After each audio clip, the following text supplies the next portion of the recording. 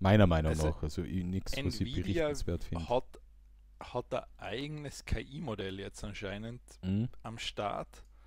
Ähm, es heißt Nemotron und soll anscheinend besser abschneiden im Vergleichstest als GPT-4o.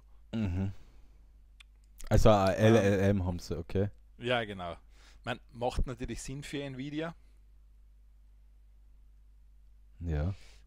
Man, es, also das steht eben da, in der vergangenen Woche hat Nvidia der Franzö auf der französischen KI-Plattform Hugging Face ein neues KI-Modell hochgeladen, das als Lama 3.1 Nemotron 70b Instruct bezeichnete Modell. Mhm.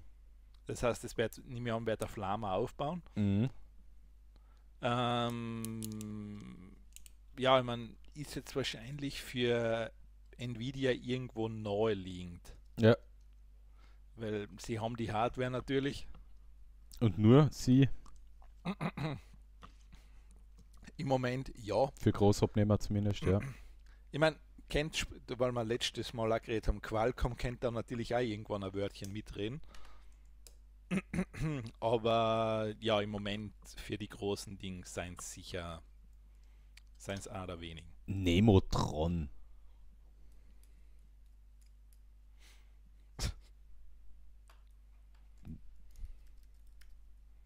Warum nicht gleich Optimus Prime? Der ist markenrechtlich geschützt. Ah.